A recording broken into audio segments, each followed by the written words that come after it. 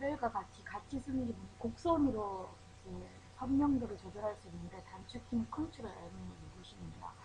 컨트롤 M을 누르면 곡선으로 그래프를 할 수. 그래서 이 부분을 이렇게 살짝 누르시면 이쪽으로 갈수록 밝아지죠.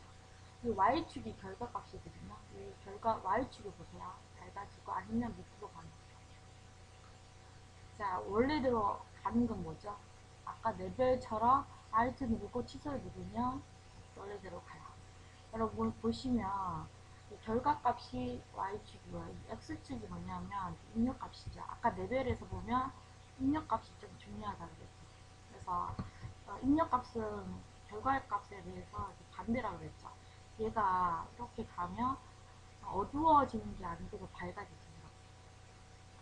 그리고 이쪽으로 가면 하얀색으로 갈수록 입력이 이제 어두워지죠.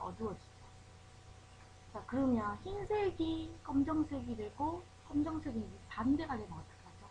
결과값이 모두 하얗게 되고 뒤집어지면 그죠? 보색 효과가 나죠. 필름 효과가 나요. 보통은 할 때는 이렇게 밝게는 이렇게 어둡게는 이렇게 이렇게 많이 쓰고 있어요. 나머지 부분은 거의 레벨하고 많이 씁니다. 초기에는 레벨을 쓰고요. 좀 음, 전문가 분위기를 날려면 컨트롤 M을 써도 똑같은 효과가 날 수 있습니다.